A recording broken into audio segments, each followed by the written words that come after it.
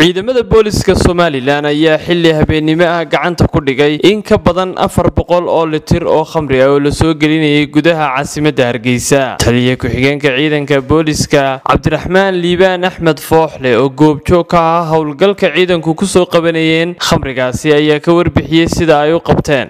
Bismillahi raxmaan raxiim taliyaha qaybta galbeedka hogaan ku-xigeenka ciidanka bahda saxaafadda dhammaantiin waxaan ku salaamaya salaamta islaamka waxaan leeyahay asalaamu calaykum waraxmatullaahi wabarakaatu.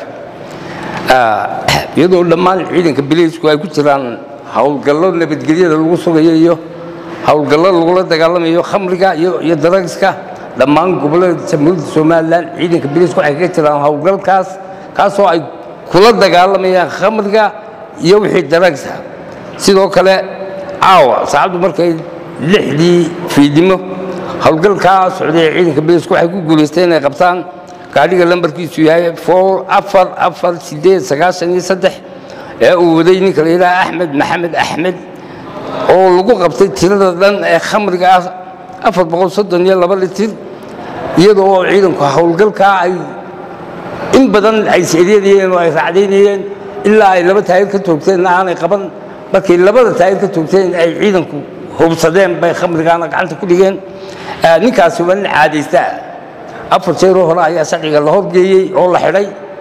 Waa markii sanaad markan khamriga lagu qabanaya annagana baaris baanu gelinaynaa bal sababta iyo meesha sida ay xaalkiisu yahay.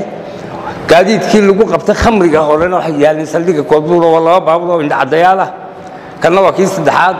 Mar kastoo aanu geyno sharcigana waxaanu arnaa isagoo haddana gaadhi kale wata oo khamriga sidaa darteed taana baaris baa laga gelayaa waxaan taliyaha guud ee ciidanka biliiska wuxuu u mahadnaqayaa shacbiga reer somalilan dadweynaha nala shaqeeya meel gobollada dhammaan iyo caasimadda kuwaasoo gacan naga siiya had iyo jeer.